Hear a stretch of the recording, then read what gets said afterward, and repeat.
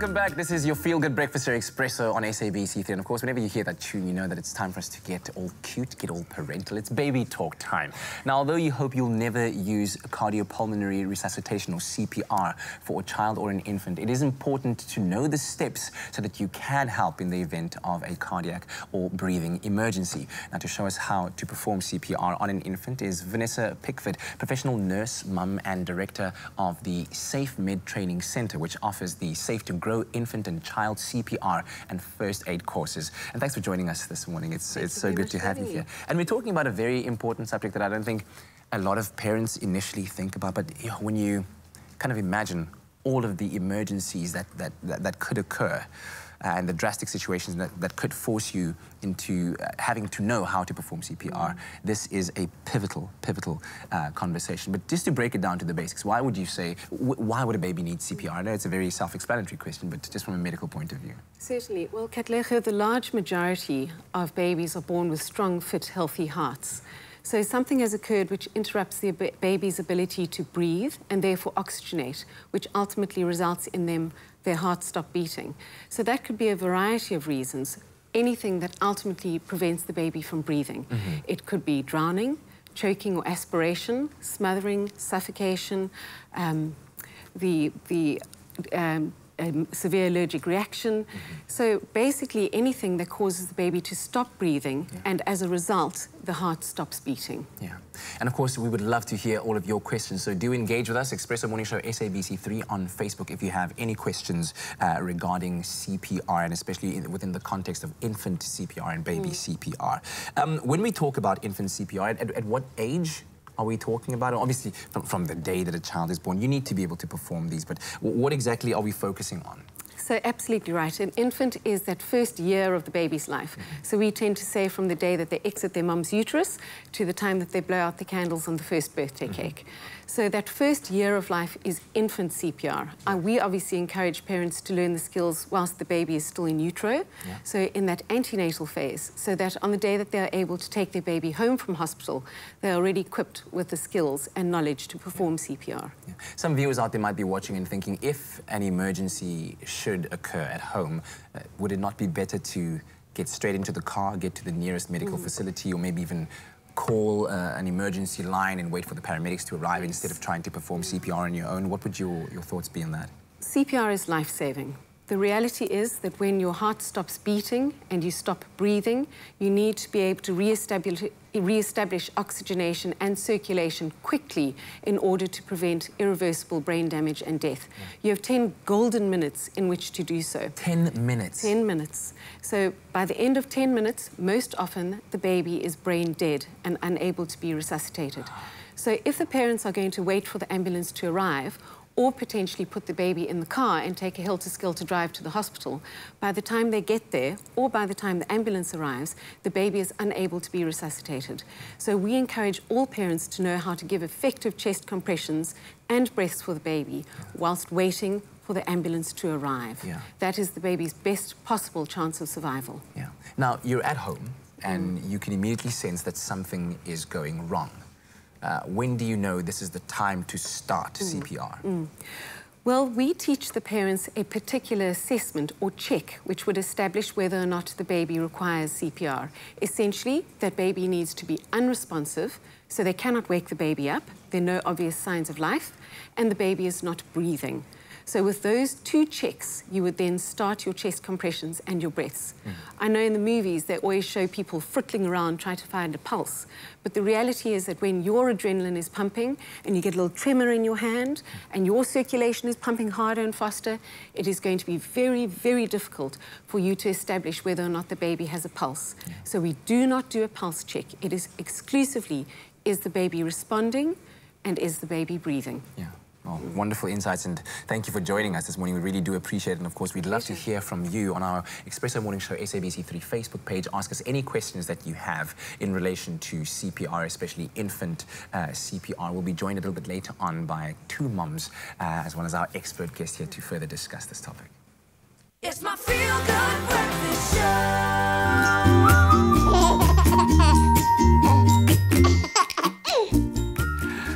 Welcome back. This is your Feel Good Breakfast Show. It's a Thursday morning. Hopefully, those giggles have put a smile on your face as we prepare for another uh, baby talk right now, where we are learning something very, very important, something that all parents and future parents um, should be learning about. We're talking about uh, infant CPR. And we're joined this morning by Deslin, uh, who is now five months pregnant, mommy to be, awaiting a little boy. Yes, very excited. She's possibly going to name him Katlayahu. We don't know. High five for that, Vanessa. Yes, get in here. High five. Uh, and then also, uh, Leanne is here, uh, mom, mom to six, six-week-old uh, Ava, Yes, who is I've here and has just had us all, had us all blushing. And uh, I don't know about uh, you moms, but have you learned about uh, infant CPR yet? Yes, I did a course a few years ago. Okay. Um, but yeah, I haven't brushed up in a while. All right. And what, what about you, Disney? I also did a first aid course at work, Uh-huh. also a while ago, so Yeah. it'll be good just to brush up a bit. This is my absolute first time, and, and something that I'm just, I should have done it, but I'm glad to be doing it now, rather late than never. Indeed. Um, let's quickly talk about what we're going to be uh, practicing here, which is infant CPR. When you think CPR, you think chest compressions. Quite right. That is by far and large the most important aspect of CPR because, after all, if there's no circulation, that oxygen's not going to be carried to the brain. Yeah. So the chest compressions are the most important. However, before we start those, we need to establish that the baby is unresponsive and not breathing. As you said, the check. Quite right. And uh, when one thinks about chest compressions, and at least what I've heard is that you you kind of have to be very firm about it, especially when you're doing it on, on, on adults. And but there's a, a risk of, of hurting the person um, when you're doing it. Uh, Is there any such risk when you when you're performing CPR on a baby and chest compressions that you might hurt them? Look, the reality is that chest compressions need to be performed hard and fast, whether it be an adult, a child, or an infant. Yeah, yeah. So, yes, there is a degree of risk that there might be some rib breakages, Mm-hmm. but the reality is that you can live with a broken rib. You cannot live with a heart that's not beating. This is very true. All right. Well, let's get into it uh, and take us through the demonstration as you would during uh, your classes. All right. Uh, so that we can learn how to do this. Super. Pay attention, take notes, record Okay. this so you can play it over and over again. Okay. All right, so as we are practicing now on the raised surface, this is the ideal for doing CPR in an infant. Raised. It, however, needs to be firm. It cannot be cushioned in any way. So if it's the couch, the back seat of a car, the bed, the change mat, those are unsuitable because when you push down on the front, it gives way at the back. So a firm, flat surface like this. Once we have established that there is no response from the infant, that is the point at which we'll raise it to the firm flat surface. Mm-hmm. So our first action should actually be, upon approaching the infant, making sure that we are safe to give assistance and there's no risk to ourselves or the infant. So for example, in an accident situation, mm-hmm. we will come up to the baby and we will check for a level of response. We do that by tapping the feet. It encourages a gasp reflex in the infant and they tend to frog their legs up next to, next to the body. Mm-hmm. So we go, Bubs, are you okay? Come on, everyone, you can do right. that. Okay. Baby, are you okay? Right. Are you okay? So you, you, you've got to be you pretty firm about that as well. firmly slap the baby's feet. Baby? Okay. Right. Mm-hmm. So there's no response in the infant. There are no signs of life, no facial twitches, no movements, no cries. At that point, I'm then going to say, right, help, help, help, and call an emergency number to get help coming. Yeah. So if that is you making the call yourself, you're going to have to take out your cell phone, dial the number, and put it on speaker next to you so that yes. you can talk to the dispatcher whilst you continue with the CPR. Mm-hmm. Thereafter, you're going to check for breathing. Now, my preference is not to do it from a distance, but to get right down, looking down towards the chest, feeling, listening, and counting to 10. Give yourself a good 10 seconds to check for breathing. Hold your own breath whilst you're doing so, that you, so that you don't mistake who is breathing. So I'd get right down in this manner, looking for chest rise, feeling, listening. Is there any breathing from the infant? Hold your own breath whilst you're doing so. Mm-hmm. So let's start from the top. We're going to go right. It's safe for me to assist. Babe, are you okay? Calling for help and checking breathing. Let's do it together. All right. So We're going to go. It's safe. It's safe. safe. to assist. Yeah. safe distance. Okay. Tap the baby's feet. Babe, are you Are you okay? okay? There's No response. Call for help. Call for help. Whip out your cell phone. Loudspeaker. Quite 'cause right. I'm alone. Now check for breathing. Get right down over the baby's nose and mouth, your breath. looking down towards the chest whilst you're doing so. There we go. Give it good 10 seconds, holding your own breath whilst you're doing so. That's brilliant. Okay. Now, once we have established that the baby is not breathing and is not responding, we're then going to bare the chest in order to start our chest compressions. So we will literally whip open the baby's um, little baby grow, whatever clothes they're wearing, you can do so. To expose the chest. To expose the chest so that you can see the nipple line. The nipple line is the landmark which allows you to know where to put your fingers on the baby's chest. So just a, a quick Hmm. note, in a case like this where, let's say, your baby is wearing more than one layer, it is important for you to absolutely expose the chest. Hundred percent. You need to be able to visibly see where is the nipple line on the baby. Now, my baby, unfortunately, I can't take these clothes off because then their lungs fall out. That's not going to happen to your baby. So this baby has got little nipple prominences. So we are going to use those as our landmark. Now, when we give our chest compressions, we are going to put only two fingers on the center of the baby's chest, on the sternal bone, which is the breastbone running down from the na- nape of the neck down to the xiphoid process, which is the point at which your ribs Your ribs meet. come together. So we're going to put our fingers just below the nipple line. The two fingers are going to run side by side down the chest, and then you will push down to a depth of four centimeters, which is hard. it's about a third of the depth of the chest of an infant, and at a rate of 100 to 120 compressions per minute. Now, because the baby's neck is so short, if we hold the baby's head into slightly open into the open airway position, we can actually facilitate some air exchange whilst we are doing the chest compressions. So, ladies and Katlego, what I would like you to do now is feel for those nipples, right? Mm-hmm. Put two fingers on the center of the baby's chest, just below the nipple line. I want the tips of the fingers onto the breastbone, please. Right, perfect. And put your other hand on the baby's head to tip it ever so slightly into the open airway position.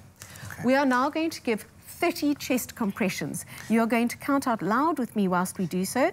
I'm going to establish a rhythm for you, and you're going to push hard to a depth of four centimeters, a rate of 100 to 120 compressions And per this minute. is without breathing into the baby's You are not going to breathe. We are only doing the chest compressions. Remember, when we push down on the front, we are squeezing the heart between the sternum in the front and the vertebrae at the back. So we are forcing any blood that's within the heart out into the body, creating circulation. Mm-hmm. You need to allow your fingers to come back up to its natural position and the chest to recoil between compressions, which allows the heart to refill before you push down on it again.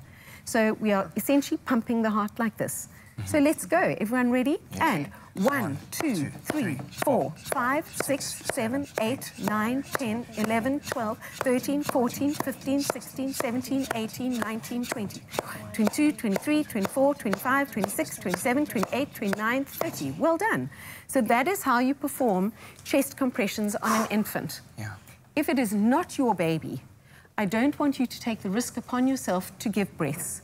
You will only push on the chest exclusively until such time as help arrives. If the mom or the dad or the caregiver of the baby is present, you can say to them after your 30 compressions, right, you are now going to give two breaths, which is what we are going to do next. Mm-hmm. Oh my gosh, okay, so this is a very involved process. I'm so invested in it, but it, it just kind of makes the reality of it dawn on you uh, what, what could happen and how alert you need to be, all the checks you need to be aware of. And I'm hoping that uh, for you mums, this is making you feel very empowered, very Yes. enlightened once again as you brush up on those skills, right? Fantastic. Vanessa, thank you very much. Mm. All right, can we keep going? Yes, please. All right. You- You're about to show us how to So- give the breath. When we give the breath to the infant, which is two breaths after every 30 compressions, you're going to put your mouth of the, over the nose and the mouth of the baby. Okay.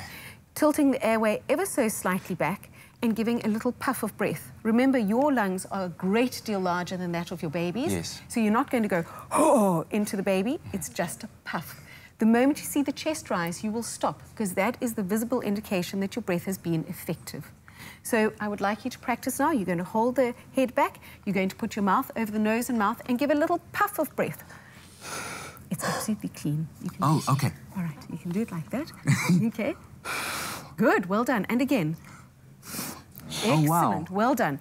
To see the chest rise in the infant And then 30 compressions and 30 follow. compressions. So let's put that sequence together.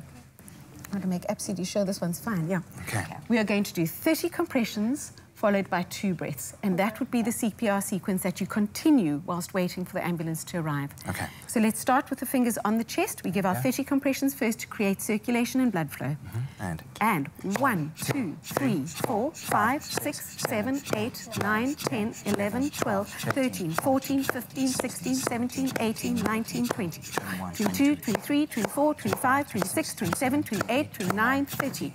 Open the airway and give your little puffs of breath. One and two. Excellent. And And, then you would go back to your chest compressions thereafter. And this you do until professional medical help arrives on the scene. 100%. Do not stop. The moment you stop. stop, that your chance, child's chances of survival diminish rapidly because the moment you stop pushing on the chest, your circulation dis- disappears, and without any oxygen being introduced into the system, the heart and the brain are going to die. All right, Vanessa Pickford, thank you very, very much. Uh, Leanne, uh, Desmond, thank you very much for joining us as well. If you'd like more information, please follow Vanessa at SafeMed1 on social media um, and do connect with her for vitally crucial information that you need to know as a parent. Thank you. Thank you. Thank you for inviting us.